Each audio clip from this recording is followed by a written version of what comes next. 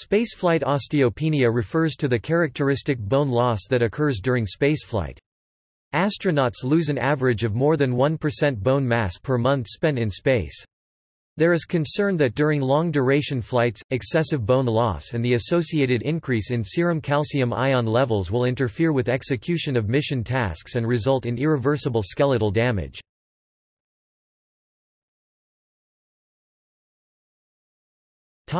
History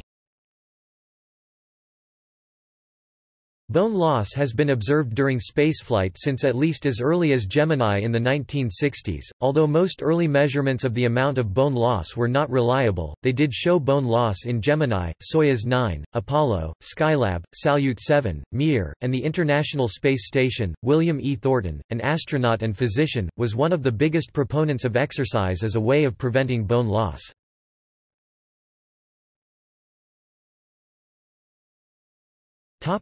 Cause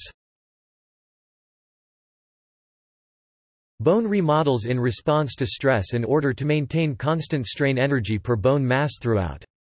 To do this, it grows more dense in areas experiencing high stress, while resorbing density in areas experiencing low stress. On Mars, where gravity is about one-third that of Earth, the gravitational forces acting on astronauts' bodies would be much lower, causing bones to decrease in mass and density. Average bone loss of 1–2% was recorded in astronauts on Mir each month. This is in comparison to 1–1.5% bone loss in the elderly per year, and 2–3% in postmenopausal women.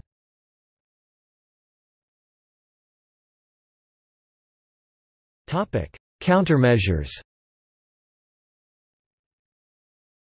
Since Gemini, exercise has been tried as a way of preventing bone loss, but it has not been shown to be successful. This may be in part due to lack of adequately designed studies no controlled study had been done as of 2005, either in space or using bedrest as an attempt to simulate conditions which lead to bone loss.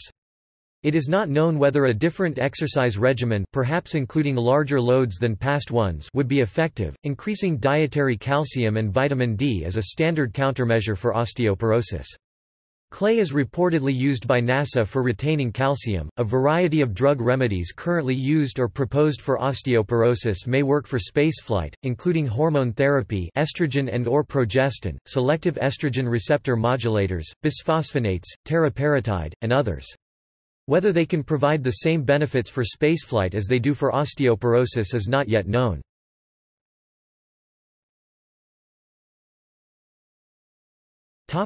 See also Artificial gravity Effect of spaceflight on the human body Space medicine Space adaptation syndrome Microgravity University Reduced gravity aircraft Timeline of longest spaceflights